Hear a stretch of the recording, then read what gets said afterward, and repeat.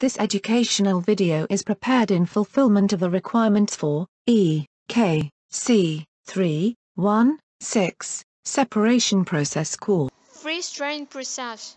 Is it combination of freezing and also drying processes? Freeze drying is a process that removes solvent from materials. This process have applications in the preservation of many different types of materials, foodstuffs, artifacts and whole organism. Freeze dryer consist of heated cells, refrigeration coil, compressor and vacuum pump. Let's take food as an example. The compressor is run to lower the temperature in the chamber. The food is flash frozen by placing it onto the heated cells. After that, the vacuum is turned on to remove air out of the chamber by lowering the pressure. At the same time, Small amount of heat was applied to the cells to change the water molecules which is in solid form to vapor. The water vapor flows out of the freeze-drying chamber and then sublimate onto the freezing coil. The molecules of the water will change to solid ice form like frost. This continuous process will occur from a few hours or days until the food dries out. After that, the food is sealed in a moisture-free package. The fruits can be kept for years without degrading as long as the package is secured.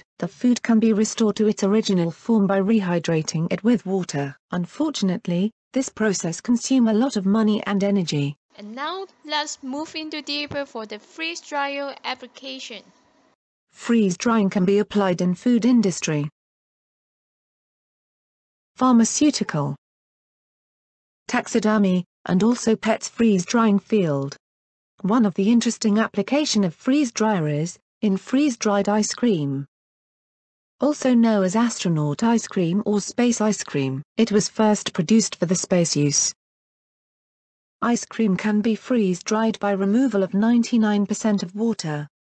However, how are we going to store, and eat, the freeze-dried ice cream? The answer is very simple. Freeze-dried ice cream can be kept at room temperature without melting, hence it does not require refrigerator. And the best thing is, it is ready to be eaten.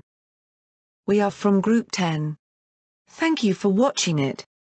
Hope you will enjoy watching it.